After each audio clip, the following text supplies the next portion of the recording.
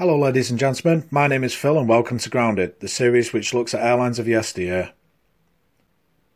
This episode will take a look at the unbelievable events that happened following the collapse of XL Airways. If you have seen the previous episodes in this series, you may recall that the origins of XL began with Sabre Airways, formed in the mid 1990s and rebranded as XL Airways in 2001 following a change of ownership. XL was then rebranded again as Extra Large towards the end of 2006 becoming the UK's third largest travel company. In 2007, an ill thought out management buyout was completed and doomed the company, with the XL Leisure Group imploding spectacularly in September 2008. The company had many twists and turns of its own, whether it was the formation of Peach Air through a partnership with Goldcrest Aviation, a customer of the then collapsing Ambassador Airways, or how Sabre and its then owners Libra set up the ill fated Helios Airways, later known as A-Jet, the involvement of the Icelanders and the eventual management buyout followed, and even their own auditors resigned. The chairman had to resign due to declaring himself bankrupt and dragged down Silverjet in the process. There were twists, alright, but to say what followed XL is a twist is a massive understatement. This is more like a corkscrew. In the days before XL ceased operations, there was speculation about a possible new travel firm launching called Kiss Flights. Interestingly enough, the application for the KISS trademark was made on 11 September 2007, a year to the day before XL's demise. It was almost unbelievable, but less than seven days after XL's spectacular implosion, KISS Flights was publicly announced. They would start flying in summer 2009 and would serve a multitude of destinations from the Greek islands, Cyprus, Egypt to Spain and the Canary Islands. They would have a fleet of new 737-800s which had conveniently become available, and the press release also came out with the following chestnut. The KISS team have many years of outstanding experience in the travel industry, up to the minute market knowledge, and quite simply, a passion for travel. Well, they certainly got that right. KISS Flights was established by a couple of former XL managers, Michael Smith who had moved over from Freedom Flights before XL's collapse, and Paul Moss, who was the Freedom Flights managing director. Kiss Flights was owned by Meridian Aviation, a company which was owned by James Wyatt, another former XL manager, and more importantly, the brother of Phil Wyatt, the XL chairman who cried crocodile tears on live TV just a couple of days earlier. Kiss insisted that Phil Wyatt was not involved in the new company and had actually spent more time denying his involvement than they did actually advertising themselves. This wasn't helped when Wyatt was driving his car with the registration K155XLA, or Kiss XL Airways, which he insisted was because he loved XL. As if this story couldn't get any more twisted, Wyatt formed a new company, Black Pearl Investments, named after Johnny Depp's ship in Pirates of the Caribbean. Seriously, what is it with this guy and names? Peach Air, Exile Holdings, and now a sodding pirate ship. Anyway, the new company had an Icelandic operation too, BPI Iceland, which was backed by Halldór Sigurðsson, XL's former finance director, and former XL director Magnus Stevenson.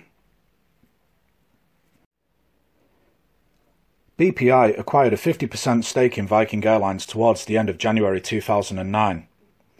I'm not sure where they got the money from for that, but perhaps Wyatt took out a mortgage on his £2 million mansion, or the £875,000 home he had bought for his daughters just weeks before XL's collapse.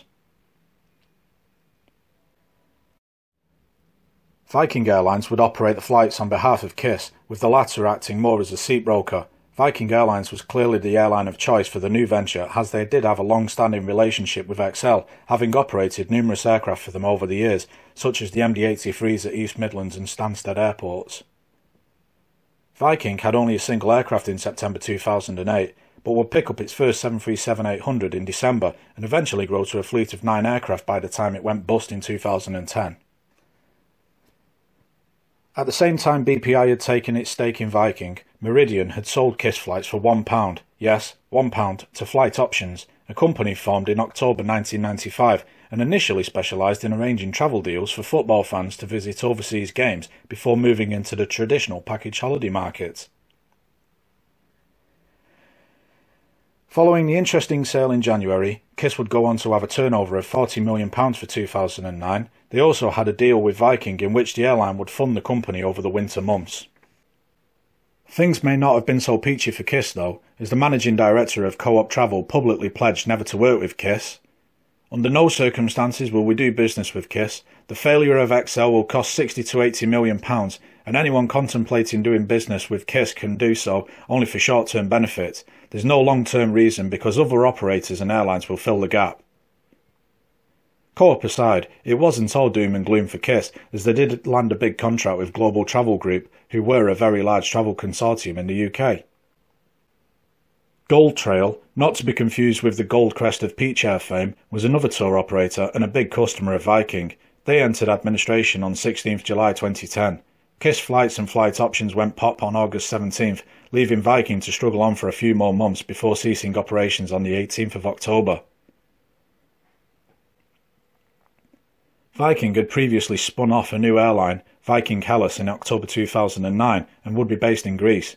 Following Viking Airlines grounding, the small Athenian airline rebranded as Fly Hellas and announced it was to open two bases, one at Gatwick, one at Manchester. Notice a pattern here.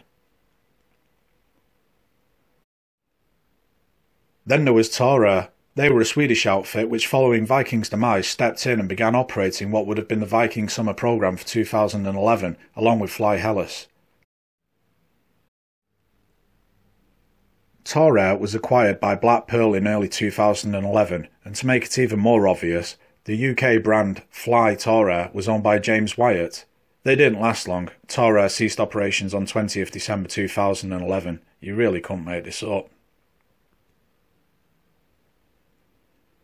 A final twist, and perhaps a little bit of justice, is that Phil Wyatt and Black Pearl Investments were hauled up into court in 2014 as the administrators of Gold Trail had claimed they had assisted the owner of Gold Trail in misapplying the company's money.